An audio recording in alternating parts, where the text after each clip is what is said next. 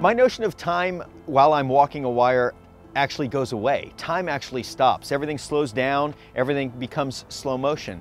And I'm so focused on what I'm doing that it seems like by the time I finish, I don't even realize that I started. It seems like it goes extremely fast.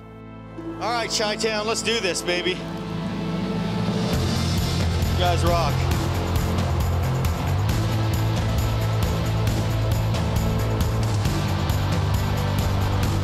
Philosophy of life is extremely important. matter of fact, every every autograph I sign says never give up. And that's my philosophy of life is no matter what challenges you face, no matter what trials you go through, to not give up.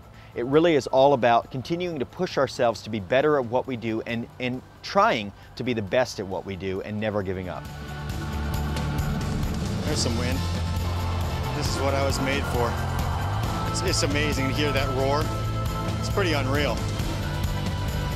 Oh man, you're on the home stretch, buddy. My life is about carrying on a legacy. And I believe that JeanRichard has the same philosophy, carrying on that legacy and carrying it on in the highest possible manner, making sure that we do everything to the best of our abilities and trying to do better than anyone else and outshine our competition in everything that we do.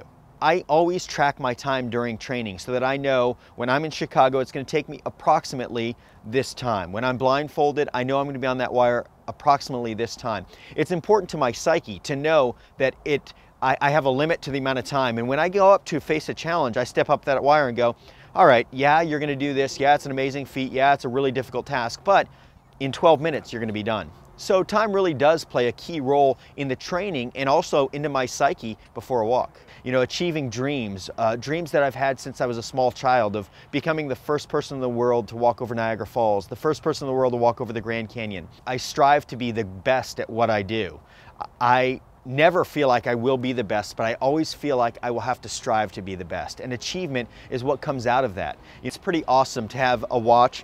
The, uh, the outside edge here resembles a cable which is pretty cool. And then you see myself, me, on a wire on the watch, which is extremely cool. It's, it's just awesome. Looking good. This is what I was made for. I know you can hear it. Oh yeah, I can. It's, it's amazing to hear that roar. It's pretty unreal. Three feet. It's pretty unreal. Up with the rip, Nik. It's awesome. You're, you're a genius. Praise God. Woo, that water feel like moving everywhere. It's everywhere, man.